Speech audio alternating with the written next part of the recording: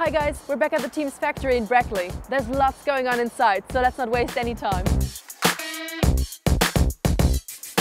It's been three weeks since the British Grand Prix, which means everyone at the factory is now gearing up for the next race. We're going to take you behind the scenes to show you just how busy the team is ahead of the Hungarian Grand Prix.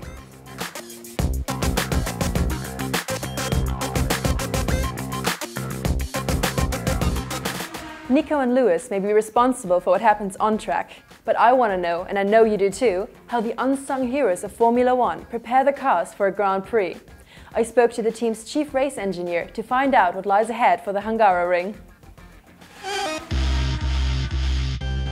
It's a difficult track because there's a lot of corners, very short straights, but it's unusual in how many of them are interconnected. So getting out of one corner determines how well you get into the next. So for the drivers, they're, they're very busy all the time. Um, it's difficult for cooling, it's difficult on the brakes. There's a lot of, uh, a lot of stopping the car and you haven't got the big long uh, straights to cool it down. And it's pretty aggressive on the tyres just because they don't have a lot of uh, time to sort of recover.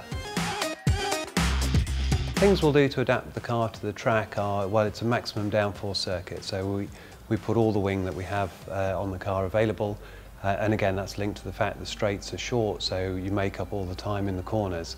Um, it's one way you might run the car a bit softer. There's a lot of low speed content there, so low and mid speed corners, and you can get maximum uh, mechanical grip that way. And then also it's pretty hard on the rear tyres, so you're doing quite a few things to try and look after those and maybe move more of the work to the front of the car. It's nearly always either hot there or it's wet. Um, and at the moment it's looking pretty hot, so uh, 31, 34 degrees, but there's a, there's a chance of thunderstorms and that for us is, is a, bit, bit of a concern because it's very unpredictable.